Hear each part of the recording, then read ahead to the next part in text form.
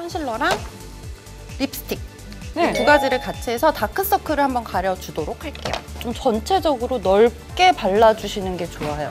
그래서 옆쪽에 있는 광대까지 타고 올라가서 이렇게 발라주시는 게 커버력이 훨씬 좋고 시간이 지나도 이제 덜 올라오더라고요. 네. 어, 이제부터 본격적으로 시작을 할 건데요. 동양에서 이렇게 strobing 메이크업이 유행이 안 되었던 이유가 가장 큰 이유가 동양 사람들은 조금 이렇게 평면적이기 때문에 네 contouring만 인기가 있었대요. 네. 그래서 저는 파운데이션을 두 가지를 사용을 할 거예요. 네.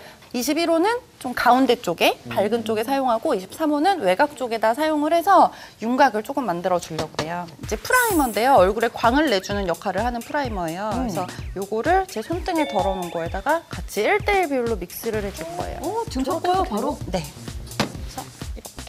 정말 피부 표현에 정말 공을 들이네요. 네. 아무래도 이렇게 strobing 조명을 켠 듯한. 뷰링 씨 좀 천천히 하셔도 될 것 같아요. 어, 정말 먹잇감을 노리는 한 마리의 하이에나 같지 않아요? 재미 붙이셨어. 아, 선생님 싫어할 거야. 그리고 사실 이쪽에 잠깐 타임. 저 진행 좀 잠깐 할게요. 일단 얼굴의 가운데 부분에는 21호, 그리고 테두리에는 23호를 발라줬어요. 네. 그래서 스펀지 타입으로 팡팡 두드려 줄게요. 뷰링님 처음으로 말 끊었어요. 정말 네, 시간을 촉박하게. 야, 지금 왜냐면은 쓰고 본인이 이거 들어갈 때는 한 12분 정도 돼야 되거든, 베이스는. 근데 지금 8분밖에 안 남았어. 뺏겨봤거든. 뷰링님이 뷰링님이 이제 MC 자리를 노리고 계신다 그래서 그걸 좀 막아달라는 부탁을 제가 받았거든요. 제가 듣기로는 오가나 선생님이 노린다는 얘기. 지금 이렇게 해서 베이스 메이크업을 다 완성을 했어요. 네. 근데 이렇게만 하면 아직은 조명 받은 것 같은 느낌은 아니잖아요. 네. 그래서 조금 전에 사용했던 이 프라이머를 다시 한번 발라줄 거예요. 음. 그래서 진짜 이게 strobing 메이크업의 전부라고 해도 과언이 아닌 것 같아요. 이게 얼굴에서 좀 입체적으로 튀어나온 부분을 발라야 되는데요. 음. 조명을 켰을 때 딱 빛이 나는 부분들에 발라줘야지 조금 더 광이 나는 것 같더라고요. 아, 근데 오늘도 뷰링님 팬들이 많은가 봐요. 뭐 좋은 화장품보단 좋은 화장법과 좋은 베이스, 좋은 얼굴 이렇게 어머, 어머. 극찬해 주시네요. 뷰링 씨 엄마였습니다.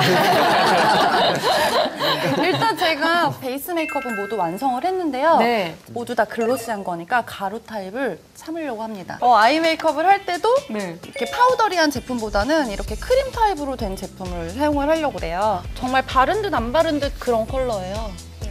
이제 제가 아이라이너를 그릴 건데요. 네. 과하게 하지 마시고 자연스러운 메이크업이니까 이렇게 눈꼬리 끝까지만 살짝 그려주시면 돼요. 뷰링 씨가 2분이 채 안 남은 상황에서 마스카라를 들었습니다. 마스카라를 할 것인가 말 것인가. 뷰링님 고민하다가 입술 하셔야죠, 입술. 네. 입술은 금방 끝나니까요. 그쵸? 네. 마스카라 번졌습니다, 심지어 어? 지금. 네. 다시 해야 될 것 같은데. 아직 마지막으로 입술. 보이는 것 같아요. 입술은 입술은 바로 이렇게 타입 제품을 사용을 해서요. 풀발색 안 하고 제가 그라데이션으로 마무리를 해줄게요. 네. 아까 다크가를 때 썼던 제품이죠? 네. 어, 지금 25초. 24초? 4초. 3초. 끝났어.